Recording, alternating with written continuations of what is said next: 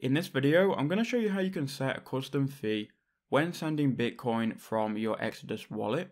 I'm also going to cover in simple terms what changing the fee means to you and your transaction. So what you need to do inside of Exodus, go to your wallet here and go to Bitcoin.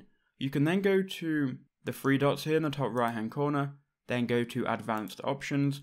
It's going to give you then some options. Now what you want to do is you want to enable custom fees. So if you go ahead and check that, we have now enabled custom fees. Now, if you want to send Bitcoin with a custom fee, go to send, and you may or may not get this slider bar here. So if you don't, go to the top left hand corner and you can enable and disable it. Now, Exodus are going to recommend the fee. So the fee that they're recommending here is going to be $1.12, and that depends on the network speed. So if the network is busy, you want a higher fee so your transaction goes quicker. If the network isn't busy, you'll be able to send a lower fee, uh, but you can change your fee here with the slider bar, and you can see if you go really high, it's going to be, your transaction is going to be confirmed fast. So that's how you can set a custom fee on Exodus.